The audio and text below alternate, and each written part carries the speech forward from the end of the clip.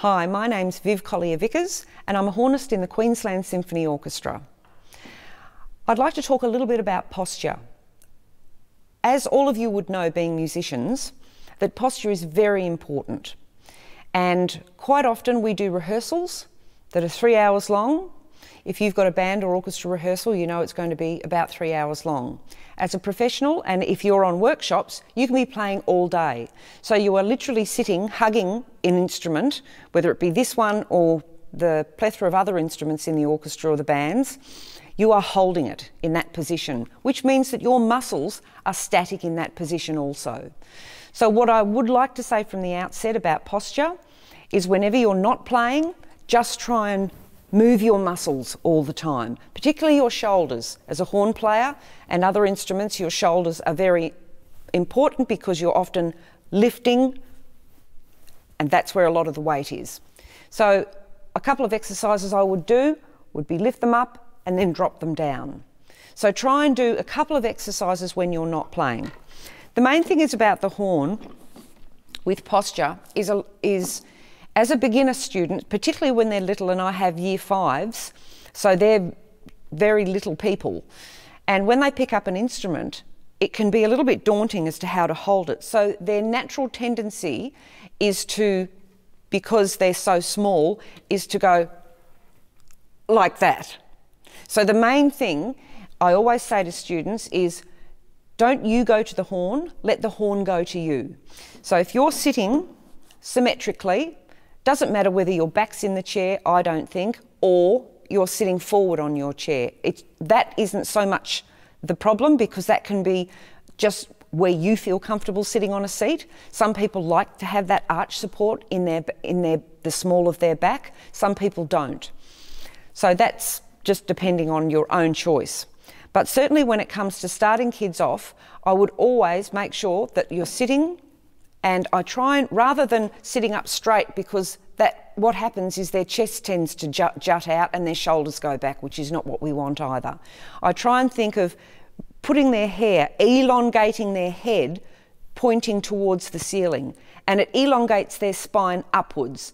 And as soon as they're in that and the rest of their uh, upper torso area is relaxed, then bring the instrument to you. And as you can see, it's quite symmetrical that way.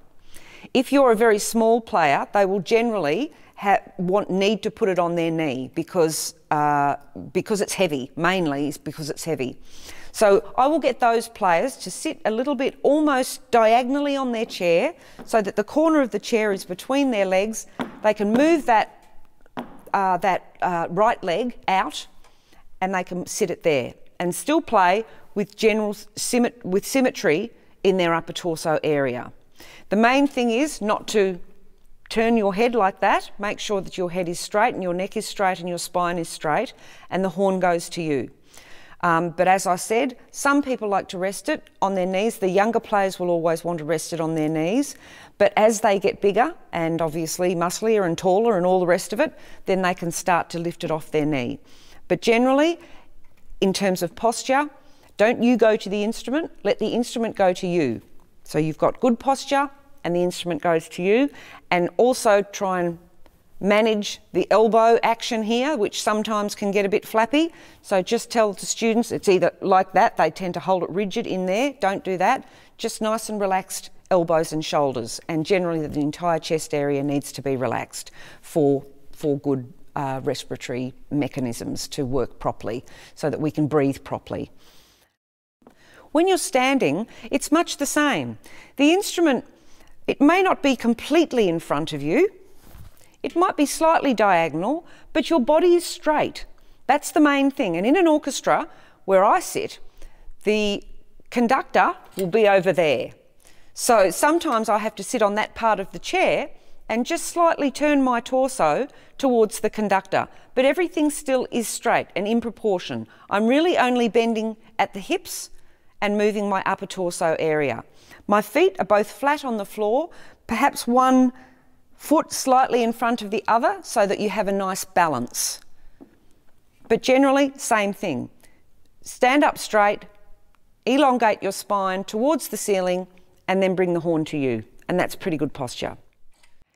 Uh, we in the Queensland Symphony Orchestra are all teachers, so we're very happy to field any questions that you might have. You can email the orchestra and they will forward them on to us, and we're most certainly happy to explain anything further. Thanks so much. I'm Vivienne Collier Vickers from the Queensland Symphony Orchestra.